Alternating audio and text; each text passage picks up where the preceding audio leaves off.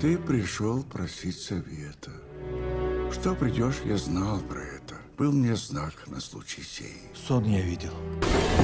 Бой Георгия со змеем. Бой святых и черных сил. Ты, Иоанн, себя забывший, бивший бедную жену. Никудышный, все пропивший. Шел ты медленно ко дну. Ты со всеми заблудился. Но спасаться одному.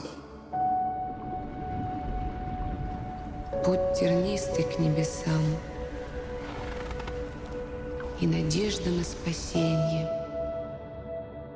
А народу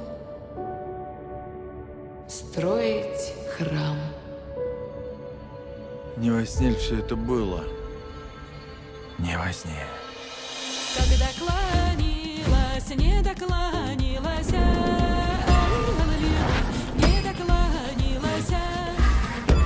тебя везде искали. Что ж, скажи, произошло? Я хотел вас всех просить. Может, церковь восстановим? Может, станет легче жить? Что тут думать? Прав Росток. Сколько же можно в самом деле? Как же церковь не поднять?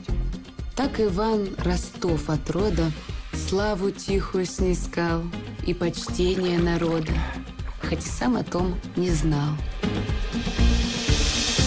А в России все сначала не впервые начинать. Истреблялось, исчезало, а потом, глядишь, опять из-под пепла, из-под праха, где чернела пустота, после крови, после страха вырастала красота.